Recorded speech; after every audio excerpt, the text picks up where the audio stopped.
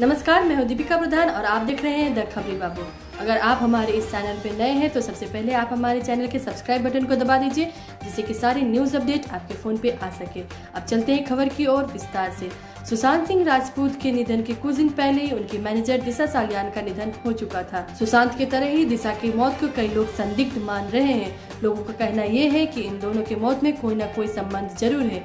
इसी के चलते सुशांत सिंह राजपूत के दोस्त सुनील शुक्ला ने बॉम्बे हाईकोर्ट में एक याचिका दायर की है। अपडेट को देखने के लिए आप बने रहिएगा हमारे शो पे। इसका नाम है द खबरी बाबू। धन्यवाद।